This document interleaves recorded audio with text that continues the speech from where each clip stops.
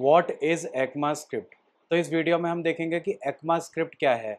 और जब आप जावा स्क्रिप्ट सीख रहे होते हो ना तो बहुत बार ये नाम बीच में आता है और जितने भी डेवलपर होते हैं ना, उनको बहुत कन्फ्यूज़न हो जाता है। तो हमें पहले समझना है कि एक्मा स्क्रिप्ट क्या है, ताकि आप जावा स्क्रिप्ट अच्छे से सीख पाओ और आप जावा स्क्रिप्ट में कोड कर पाओ और कभी भी कोई एक्मा स्क्रिप्ट नाम यूज़ कर रहा है तो आपको कन्फ्यूज़न ना हो। तो किस किस तरह के नाम आपको कन्फ्यूज़ करने वाले हैं? एक्मा स्क्रिप्ट के बहुत सारे वर्जन हैं, कुछ टोटल थर्टीन वर्जन्स हैं। तो इस इस तरह के नाम आपको दिखने को मिलेंगे। ECMAScript six E S six E S दो हज़ार पंद्रह एक्मा स्क्रिप्ट दो हज़ार तेईस ई एस तेरह ई एस बारह ई एस ग्यारह ई एस दस। और अलग अलग वर्जन ये तो वर्जन्स हैं, ठीक है? ये आपको वर्जन सुनने को मिलेंगे। ये जो है वो ईयर है, ठीक है? ये है ई एस दो हज़ार पंद्रह, ये भी ईयर है। तो एक्चुअल में ई एस सिक्स दो हज़ार पंद्रह में आया था।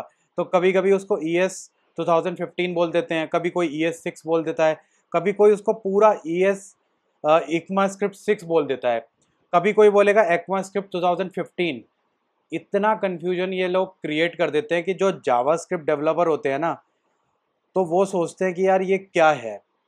तो इसको एक बार क्लियर कर लेते हैं अच्छे से, ताकि आपसे कोई भी पूछे या इंटरव्यू में भी अगर पूछा जाए तो आप अच्छे से बता पाओ। तो इसको समझने के लिए हमें कुछ थर्टी ईयर्स बैक जाना पड़ेगा, तीस साल पहले, ठीक है? थर्टी ईयर्स बैक जाना पड़ेगा 1995 में। तो 1995 में नेटस्केप नाम की एक कंपनी थी, ठीक है? जिन्होंने एक ब्राउज़र बनाया।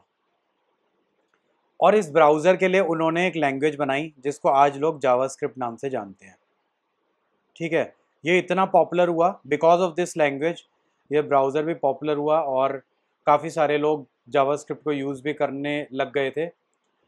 लेकिन मार्केट में बहुत सारे ब्राउज़र थे जो अपनी अलग अलग स्क्रिप्ट को यूज़ करते थे। फॉर एग्ज़ाम्पल 1996 में इंटरनेट एक्सप्लोजर आया। इंटरनेट एक्सप्लोरर जो माइक्रोसॉफ्ट का था। वो लोग जे एस स्क्रिप्ट यूज़ करते थे।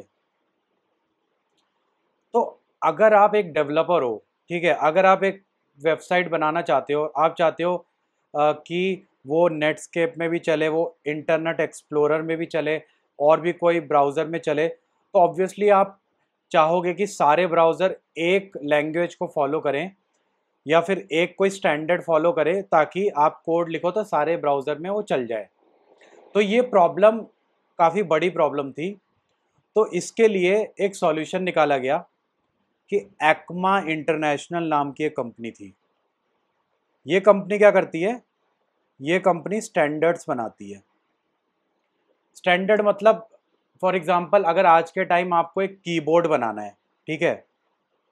और आप चाहते हो आपका कीबोर्ड हर कोई यूज़र यूज़ करे और हर कोई ऑपरेटिंग सिस्टम में चले, और किसी भी यूज़र या किसी भी सिस्टम को प्रॉब्लम ना हो तो आप एक स्टैंडर्ड फॉलो करोगे कि इसमें स्पेस बार होना चाहिए, एक एंटर होना चाहिए, या जो ये नंबर्स हैं, ये किसी ऑर्डर में होना चाहिए।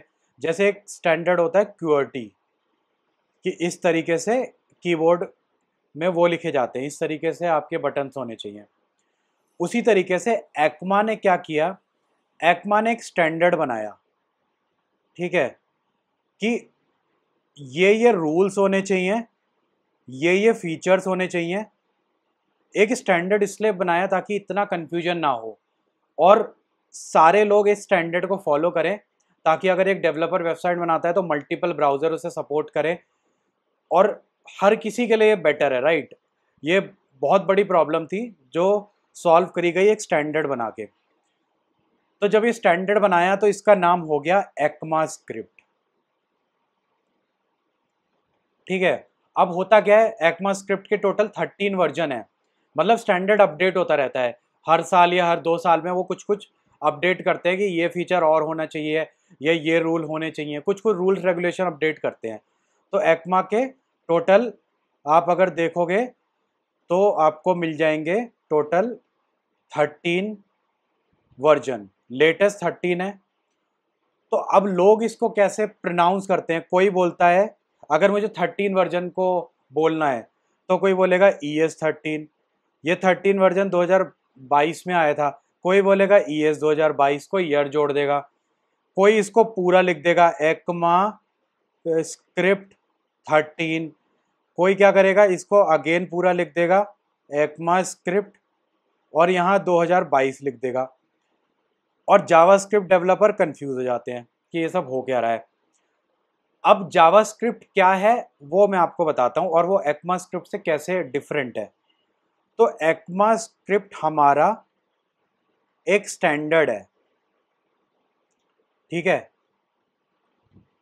एक्मा स्क्रिप्ट हमारा एक स्टैंडर्ड है, जिसके अंदर रूल्स बताए गए हैं फीचर बताए गए हैं, जो इस लैंग्वेज में होने चाहिए। तो अब कोई भी बंदा, जैसे मैंने आपको कीबोर्ड का एग्जांपल दिया, कोई भी अगर कोई नई लैंग्वेज बनाता है तो उसके अंदर ये स्टैंडर्ड फॉलो होने चाहिए, ठीक है?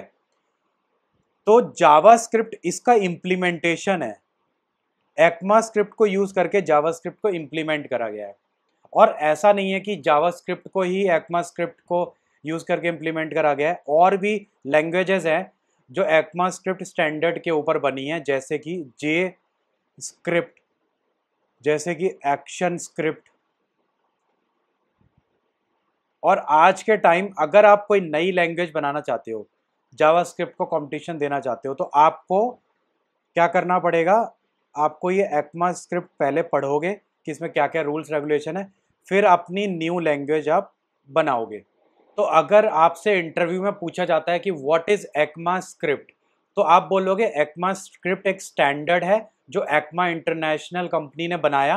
वो कंपनी स्टैंडर्ड्स वगैरह ही बनाती है और JavaScript is a implementation of ECMAScript और आप एडिशनल इंफॉर्मेशन और दे सकते हो इंटरव्यूअर को कि जावा स्क्रिप्ट अकेली लैंग्वेज नहीं है जिसने जो कि एक्मा स्क्रिप्ट का इम्प्लीमेंटेशन है। और भी लैंग्वेजेस हैं जैसे जेएस स्क्रिप्ट और एक्शन स्क्रिप्ट और अगर आपसे पूछे कि ये ई एस थर्टीन क्या है ई एस सिक्स क्या है तो आप बता सकते हो एक्मा स्क्रिप्ट के वर्जन है। अगर कोई पूछे E S two thousand twenty two क्या है तो जो version two thousand twenty two में आया था, हम उसको उसको रिफर करने के लिए E S two thousand twenty two बोलते हैं।